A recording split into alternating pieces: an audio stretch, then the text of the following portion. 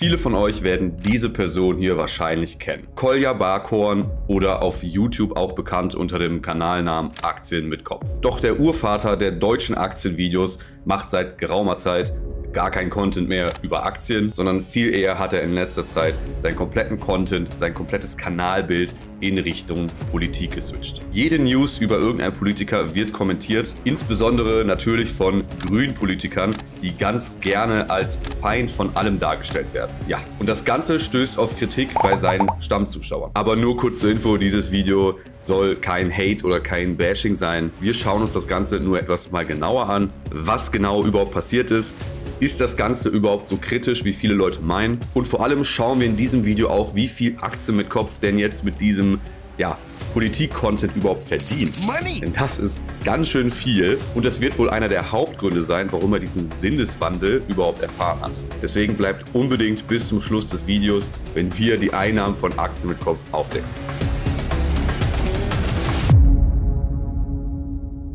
Also fangen wir jetzt erstmal ganz von vorne an. Der Kanal Aktien mit Kopf beschäftigt sich seit langer Zeit mit Themen rund um Aktien, Aktienanalysen, Vermögensaufbau und der finanziellen Freiheit. Aber seit Anfang des Jahres macht er eigentlich nur noch Politik-Content. Es ist wirklich eine 180-Grad-Drehung. Einige nennen das sogar Schwurbel-Content. Soweit würde ich persönlich nicht gehen, aber kann man sehen, wie man will. Dazu kommen extrem clickbaitige Videotitel, so wie die Bild-Zeitung es auch machen würde. Und Thumbnails mit bekannten Personen. Ganz oft, wie vorhin schon erwähnt, irgendwelche Politiker, meistens grüne Politiker, Joe Biden, Trump, die ganzen bekannten Leute. Elon Musk darf natürlich auch nicht fehlen. Und während das seine Langzeitfans, also die Zuschauer von früher, das eher kritisch sehen, findet das ein Großteil der Masse sogar extrem gut, was er jetzt macht. Wenn man den Zahlen glauben möchte. Das hier sind die Statistiken seiner monatlichen Views von Social Blade. Social Blade ist eine Plattform, auf die ihr Statistiken von jedem YouTuber einsehen könnt. Das ist alles öffentlich,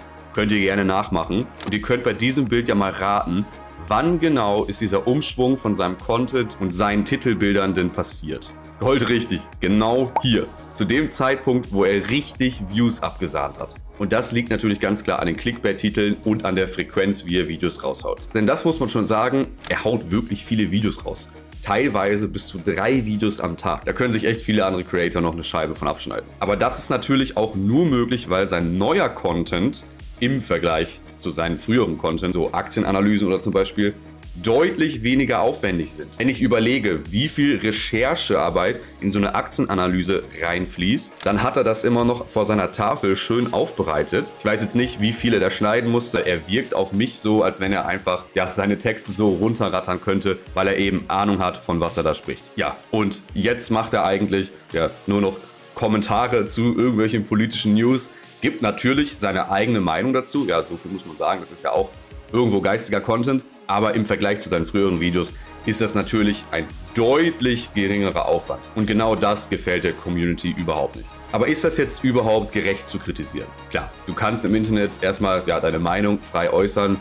Du kannst sagen, was du willst, du kannst kommentieren, was du willst. Und dieser Content-Umschwung ist ja jetzt auch kein Weltuntergang. Kolja ist in dem Sinne auf dieser Plattform ja ein YouTuber wie jeder andere auch und er kann natürlich machen, was er möchte. Nur weil er einmal richtig bekannt war für sein Aktiencontent, heißt das ja nicht, dass er das bis zum Ende seines Lebens machen muss. Natürlich kann er sein Content in eine Richtung bewegen, wie er das möchte. Das hat er früher ja auch schon gemacht. Bevor er mit Aktiencontent überhaupt angefangen hat, hat er Fitnessvideos gemacht. Und viele andere YouTuber machen das ja auch so, dass sie irgendwann einfach in Content switchen. Es wird eben herumexperimentiert und von dem, was funktioniert, wird mehr gemacht. Ganz klare und einfache Regel. Außerdem gibt es auf YouTube ja immer noch die goldene Grundregel, wenn es dir nicht gefällt, dann musst du es ja nicht schauen. Du kannst einfach deabonnieren und ja, einen anderen Aktienkanal schauen, wenn es das ist, was dich interessiert. Und Leute meinen auch, ja, wenn du jetzt diesen politischen Content machst, dann springen ja deine Partner ab. Das kann man von außen natürlich immer schwierig beurteilen, aber ich vermute mal, dass er jetzt nicht ganz so angewiesen ist auf Partnerschaften. Denn jetzt kommen wir zum wahrscheinlich spannendsten Punkt. Wie viel verdient Kolja mit Politik-Content? Und ich glaube, nach diesem Punkt können einige von euch seinen Wandel auf jeden Fall deutlich mehr nachvollziehen, denn das hat es wirklich in sich. Die simpelste Methode, um herauszufinden, wie viel ein Creator denn verdient, ist ganz einfach Social Blade, wie eben schon erwähnt. Dort finden wir Werte von 2,2k bis 36k monatlich und 27 bis 430.000 jährlich. Merkt selber, mit diesen ja, weiten Zahlen kommen wir nicht wirklich weit.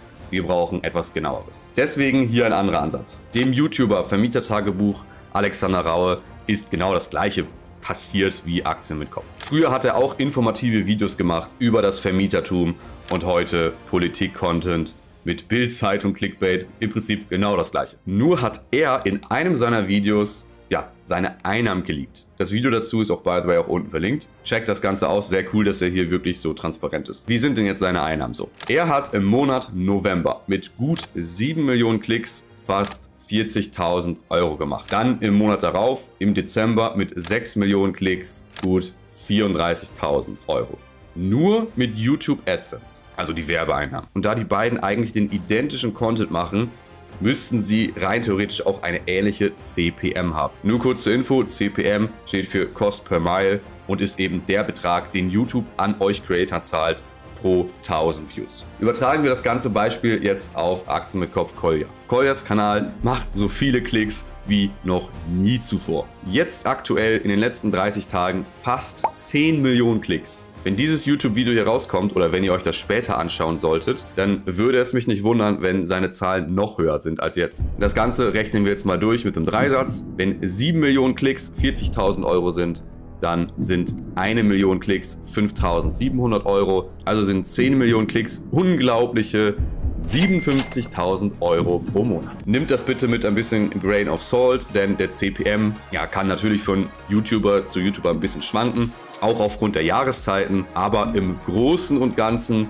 sollte das ungefähr stimmen. Und wenn es nicht stimmen sollte, dann geht davon aus, dass er noch mehr als das verdient. Und dazu kommen ja noch die ganzen Partnerschaften, die er auf jeden Fall noch hat und die ganzen Affiliate-Links in den Videobeschreibungen natürlich. Auf die 57.000 muss er natürlich auch Steuern zahlen, wie jeder andere auch, aber trotzdem ist das eine ganz schöne Ansage. Und wenn man das alles auf sich jetzt wirken lässt, dann finde ich, kann man das komplett nachvollziehen, warum er diesen Content macht. Ihr müsst euch mal in seine Lage versetzen. Wenn du die Möglichkeit hast, ich sage es jetzt mal mit Low Content, das Vielfache zu verdienen wie vorher, viel weniger Zeit reinzustecken, weniger Bearbeitung, einfach nur News lesen, natürlich mit seiner eigenen Meinung, ja, dann ja, natürlich macht man das dann. Du machst das mit dem geringsten Aufwand, was den meisten Umsatz macht. Das 80-20-Prinzip, das ist in der Welt des Kapitalismus eigentlich immer der Weg, der gegangen wird. Und Kapitalismus ist ja sowieso genau das, was Kolja vertritt. Er lebt und liebt das Ganze. Und das ist meiner Meinung nach eigentlich überhaupt nicht verwerflich